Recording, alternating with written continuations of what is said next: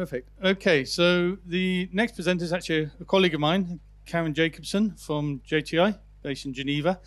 Um, Karin is the Scientific Engagement Director in our Scientific and Regulatory Affairs Department.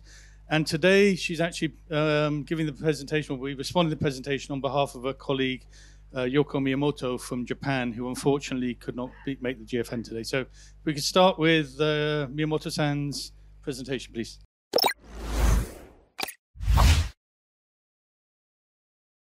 Thank you for joining me today. I'd like to explain comprehensive literature review on the indoor air quality studies for heated tobacco products. Heated tobacco products, abbreviated as HTP, have become increasingly popular in Japan, and studies on environmental exposure to HTP exhaled aerosol have been increasing accordingly. However, in these studies, the actual exposure amount of surrounding people to environmental HTP aerosol is not clear due to the difficulties in its accurate evaluation. For the purpose of understanding the exposure levels, many studies have been reported on the impact of HTP use on indoor air quality, abbreviated as IAQ, using laboratory settings to simulate various indoor environments. The reported concentrations of indoor air constituents during HTP use varies across the studies as they are measured under a variety of simulated conditions. Therefore, a comprehensive review of IAQ studies was conducted to collect the indoor air concentrations for each constituent of HTP aerosol to evaluate the impacts of these constituents on IAQ and human health from the common standpoint. Literature selection was conducted in PubMed using these keywords. The criteria for the selection was the studies on indoor air concentrations when using HTPs. Studies that only measured particle matter or dust on indoor air and did not report indoor air concentrations in the background were excluded. The evaluation of the health impact of IAQ when using HTPs is to compare the constituents that had statistically significant increase from the background, and to compare them with the exposure limits of each constituent. From 116 records, which include four studies referenced in one review article and one study from our company, as a result, 11 studies were included. A total of 340 measurement results, measuring 46 constituents in various environmental conditions were found in 11 studies for evaluation. Among them, 16 constituents, 62 measurement results showed a statistically significant increase from the background. Among these, one constituent in one measurement result exceeded the exposure limit. We used the exposure limits estimated based on the limits or guidelines provided by environmental authorities or agencies prioritizing as follows. The reported indoor air concentrations were converted into daily intake amounts using this equation to compare with exposure limits. Additionally, we estimated the duration of stay in each condition as follows. This shows the discussion and conclusion of our study. The IAQ measurement conditions varied across the 11 selected studies including ventilation rate, number of HTP sticks used, and measurement time even among the same simulated environmental conditions.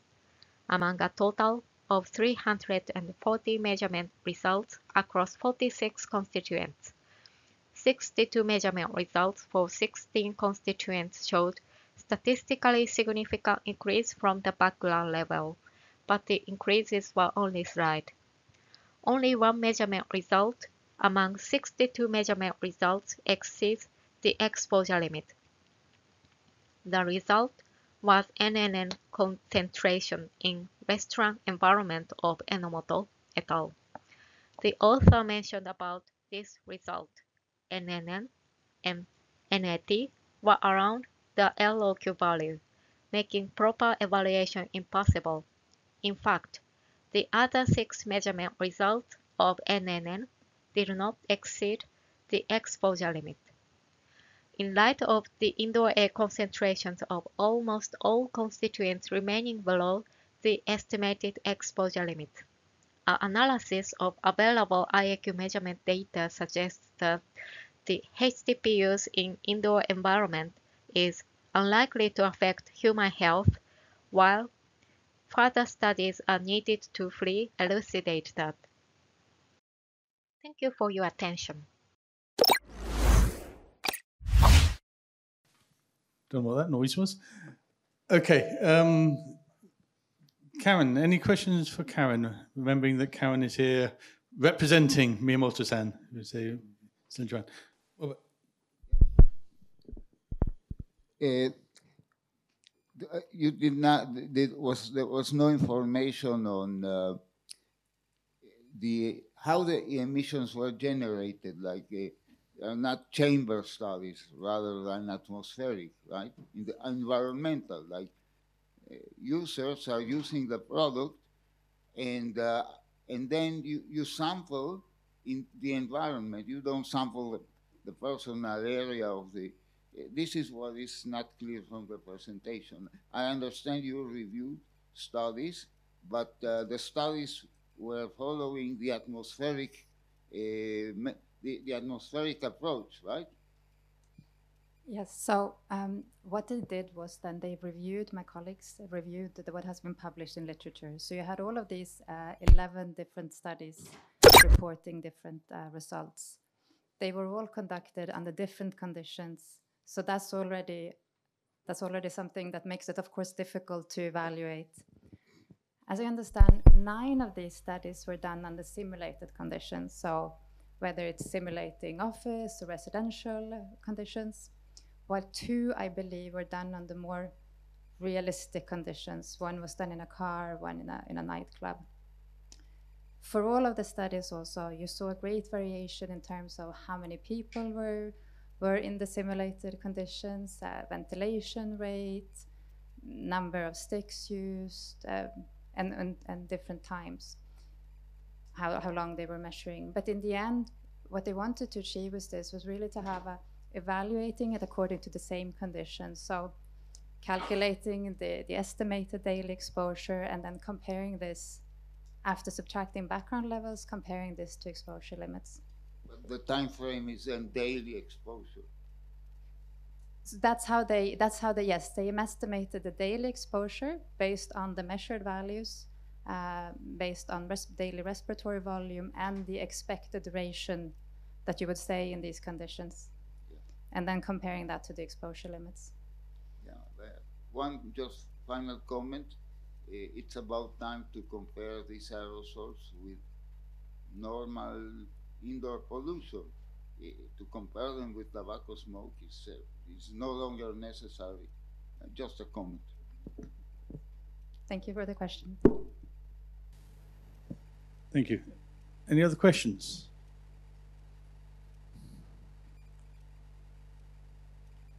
Anybody? yes. J uh, James Prieger from Pepperdine University. Um, I wondered, have as your research team considered, um, as part of determining daily exposure, doing a version of that for workers in these venues? So, for example, I would imagine one of the issues for indoor air quality laws might be for the workers in a restaurant or the workers in a nightclub who would be there longer. Um, and it seems like the the force of your study would would be multiplied if you could show even if you worked in such a location, it still wouldn't be of concern. Or maybe you'd find the opposite. But I just wondered if that's something that was considered. So when they when they compared the estimated daily exposure, they were then using these guidelines that were set by different environment, uh, environmental agencies uh, such as U.S. Uh, Environment Protection Agency.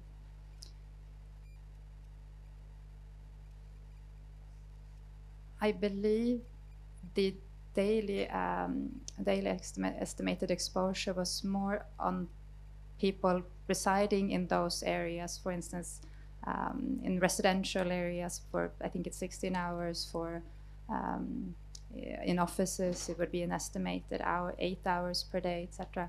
So I, am not entirely sure um, yes, how this was compared. Sorry, couldn't couldn't respond. Good question, though. Any other questions? Yes, please.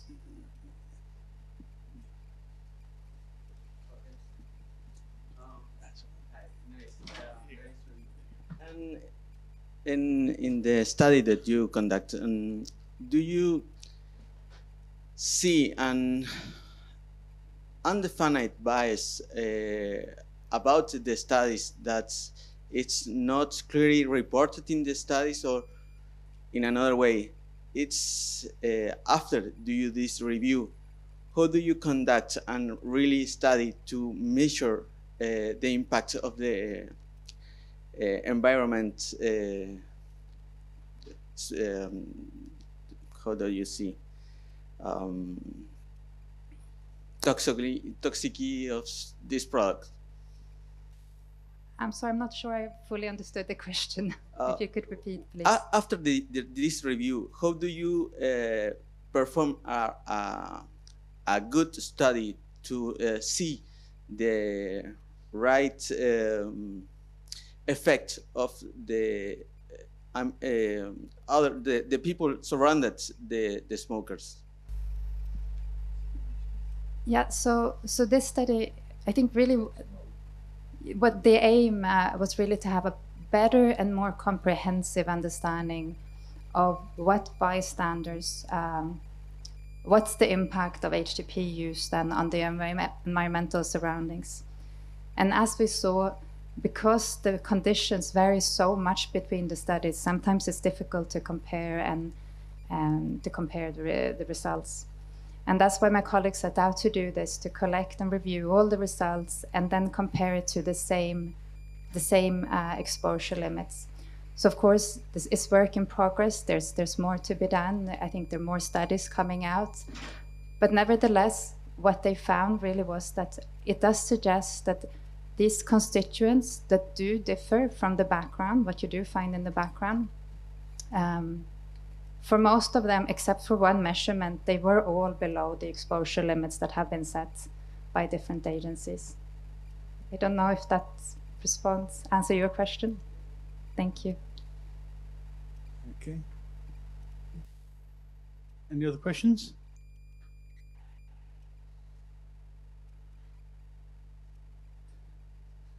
So, if,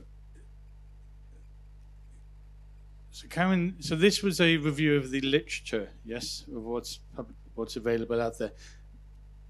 I don't know if it's a fair question to ask you because you weren't leading, but do you think there's any let's say open points what are the key areas that still need exploring in this these type of indoor air quality studies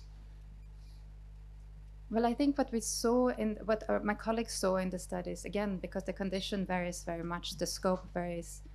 While some studies might focus on a few constituents, other focus on more. Um, so from these 11 studies, there were a total of 46 constituents that were being uh, that were being assessed in these studies. Not all studies were assessed in the same amount. So I think, and again, for some, there were only a few measurements and maybe not in all conditions, uh, but maybe just in residential or office or, or bars or restaurants. And also because the background values they do differ. So uh, I think yes, we could expect more studies coming out, um, repeating this in different conditions, uh, under different uh, different settings, and just basically reaffirming what what has been published already. thank you Norbert again please Just a brief comment that in, in this type of studies on environmental aerosols, it is very varying. When you look at the literature, you see so many different types of conditions and environments. And so these studies really require a control state of the same environment without the desired uh, eh, stimulant, the desired aerosol. Eh, Otherwise, it is terribly difficult to make evaluations of the whole literature. I think you face that also. Absolutely correct and as, actually somebody who runs a lab that does these type of studies, you're absolutely correct. We use the what in science we call a positive and negative control. So negative control would be no product use. There's people sitting there um, in a let's say a smoke-free restaurant or home, and then a positive control, for example, with HTP or HTS assessments might be uh, with cigarette smokers in the room. So yes, we look at the different conditions and, and compare. Yeah.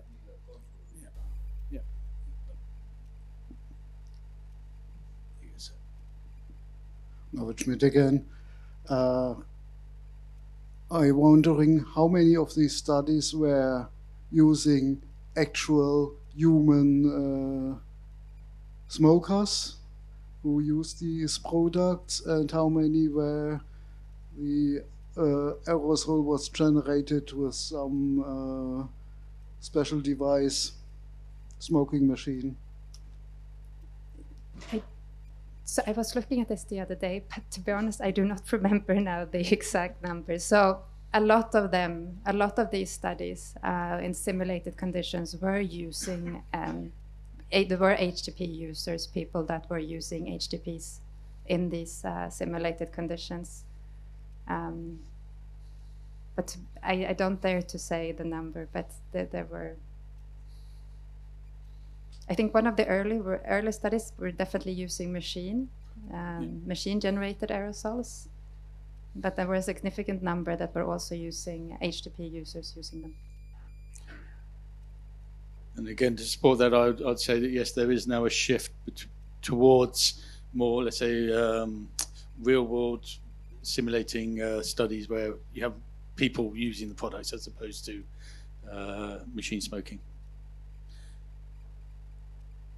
Got time for uh, one or two more questions if anyone has questions. No, in which case I think we'll take the opportunity to save a couple of minutes. We might need them later. So thank you very much, Karin. Thank you.